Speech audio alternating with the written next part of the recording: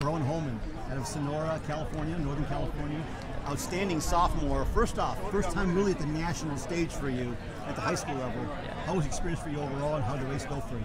Yeah, it was it was amazing. I wasn't sure, you know, what to expect going into this race. Just, you know, being in, you know, such an amazing group of runners, you know, some of the top 40, you know, high schools in the nation. So I went into this race. My plan was just to, you know, go out a little conservative. I, you know, went out towards the back of the pack and then, you know, when the last mile came around, I just picked as many people off as I could. Well, even though you had an outstanding freshman year, an outstanding sophomore year, it seems like you hadn't really knocked heads with people from out of state. This yeah. time you did. Were there nerves uh-huh. beforehand? How did that go for you?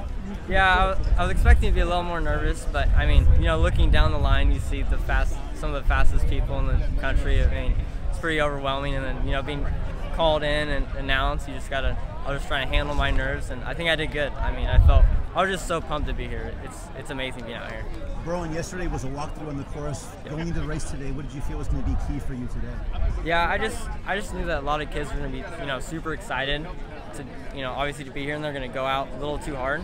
So looking at the hills and the downhill and kind of that section of the course over there, I knew that I just needed to get out conservative and then you know see what I could do going down you know the last hill coming to the finish. So as a sophomore, you were It's pretty yeah, impressive. Yeah, pretty impressive. uh, track and field. Yeah. What's the story there? Yeah, so last year I got I got sick for you know most of track, so I have super slow times. But this year I'm feeling better than ever, so it should be good. I got mono. Yeah. Yep. This year, what are you going to specialize in events wise? Do you have any idea? I think you know mile and two mile. I'll probably focus on the two mile this year, um, but mile and two mile will be my events. How long have you been running? I've been running since I was, you know, seven or eight years old. So, yeah, and I've been going to nationals, you know, for Junior Olympics, you know, every year. Um, so, I mean, this is definitely a step up from that, but I'm definitely used to, you know, the high level of competition. So, high school level, even though you've raced really, really yeah, well. no, th this is a lot different than that. So. Bro, in your opinion, how did your season go for you this year?